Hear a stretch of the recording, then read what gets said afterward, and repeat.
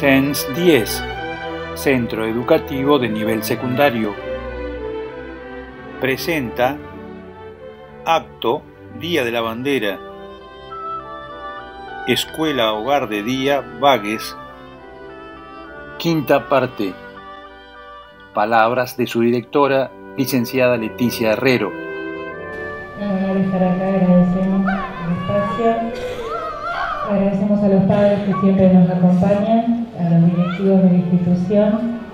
El trabajo es, empieza como cualquier trabajo. Empezamos trabajando todo lo que es contenido cognitivo, o sea, todo lo que significa la bandera, quién la creó, los colores, y ahí lo vamos adaptando para cada chico y para cada grupo.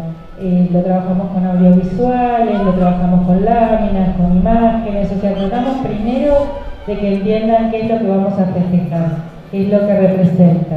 Después tratamos de buscar cosas que nos identifican a todos, que ellos ven en su vida cotidiana y que pueden llegar a trasladar y poder eh, exponer de alguna manera.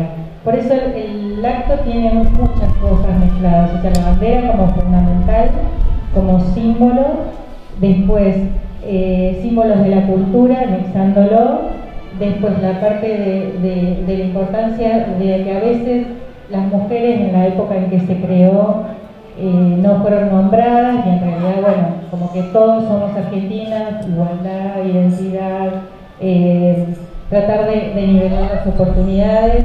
Y después, bueno, en cada sala se fue haciendo lo que es desde algo artístico, plástico, ya sea un collage, ya sean las, eh, los murales que lo mostraron en algún momento, eh, ya sea para, para alentar eh, la canción de la bandera, que en realidad ellos eligieron las estrofas, las fueron entonando, el uso de instrumentos, todo lo que sea, todos los estímulos sonoros y todo esto a ellos les genera, no es como nosotros que de alguna manera podemos este, concientizarlo. Para ello hay que trabajarlo primero para que puedan exponerlo y que ustedes lo vean así en esta posición durante 30, 40 minutos mirando a la cámara y atentos, la verdad que es todo un logro y lleva mucho trabajo.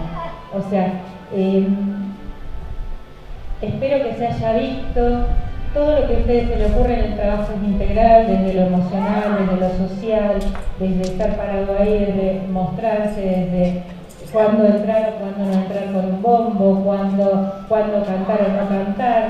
Eh, todo eso para ellos eh, representa y la idea es de alguna manera que ellos puedan mostrar lo que saben y puedan ser partícipes a ustedes de lo que ellos estuvieron trabajando.